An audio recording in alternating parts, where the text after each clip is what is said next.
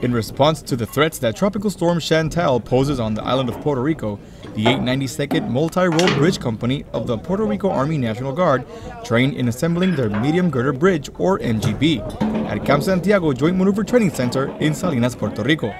This type of bridge helps the unit to always be ready to answer the call, be it federal or state mission. During the hurricane season, if a road washes out due to the heavy rains, these bridges assist in crossing the gap and help transport equipment and other goods to the affected communities.